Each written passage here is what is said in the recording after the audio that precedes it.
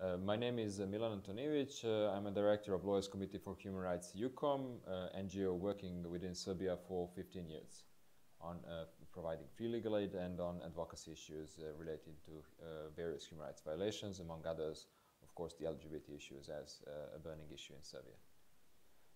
well, where, where, to start when you describe the situation in the Serbia is just that you can make a parallel within it and, and make a parallel with the region uh, where uh, of Western Balkans, uh, problems are similar, and I believe that the groups that are violating human rights and LGBT issues are, are common to, to the region. So basically, situation in Serbia is that uh, we have uh, pretty much uh, everything related to, to legal framework, um, all the things that are asked by the EU countries and the in internal pressure that we make made Serbia one of the countries with, with a quite a good legal framework. What we miss, and this is I think um, the most important, is the implementation of those standards, um, law on anti-discrimination and, and the other issues that uh, really would help LGBT community to have a decent and um, uh, uh, decent life and uh, to really use all of the freedoms that are enacted in the constitution and in, in uh, the other acts.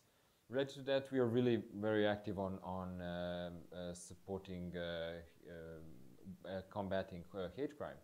In, in Serbia, we finally got the law at the end of 2012 and uh, quite a lot of incidents that are happening uh, within the LGBT community and the attacks that are being coordinated by some, some groups, right-wing organizations, then uh, football hooliganism, and the others uh, now can, can come to an end because of the, the law that's passed. And we hope that we will finally make the prosecutor's office use their use those um, arguments and uh, start uh, cases uh, for clear hate crime, crime issues. We had in the past represented victims of hate crime, but we didn't have the, the legislation for it, so it was really lowered by the prosecutor's office to, to a bit lower level, so it was an assault, not really attempt of murder or any, any other issue that was really, really happening, and uh, because of the LGBT uh, uh, component attached to, to the attack.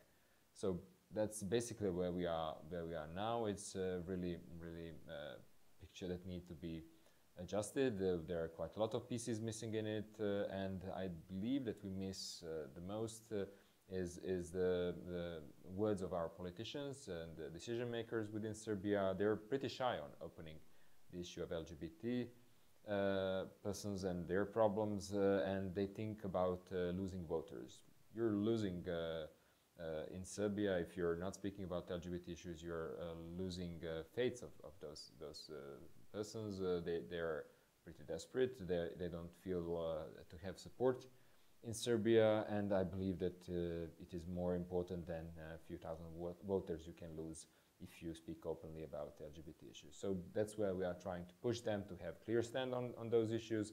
All the politicians should really be supportive to, to uh, helping citizens of Serbia really um, uh, have all the rights that are enshrined in the in the constitution, and that's where we are we are trying trying to push them to be really active.